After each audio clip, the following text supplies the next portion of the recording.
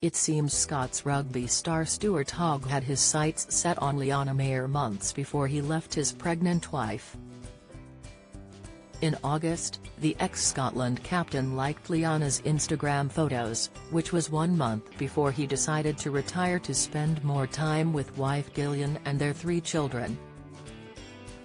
Announcing his retirement earlier this year he said, I've made this call because I want what's best for me and for my family, and I believe I have made the right decision.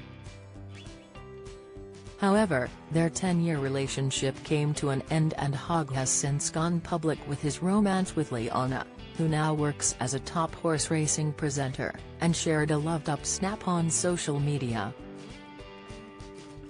A source told The Sun, Leonna caught Stuart's eye way before he officially split from Gillian. It begs the question of when they actually started being in touch. It's just another sign of complete disregard and lack of respect for his wife.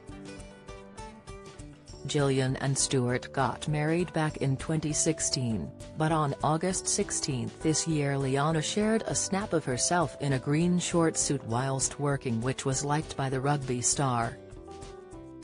In November, Gillian gave birth to their fourth child, a baby girl called Phoebe Ann but two months before that, she moved out of their family home and in with her mum at the end of September with their children. Gillian, 36, is said to have been left gutted at the speed in which he has moved on and the proud mum announced her new arrival on Instagram last week and just days later Stuart plastered his new romance with Leonna on his own page.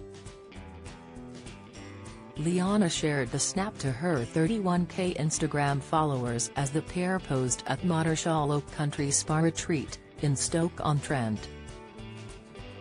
Sporting a plunging swimsuit, she wrote, the least Mondayest Monday ever, alongside a loved-up emoji and Jack Johnson's song Better Together. Stuart played for Glasgow Warriors and Exeter Chiefs won 100 caps for Scotland and made three tours with the British Lions.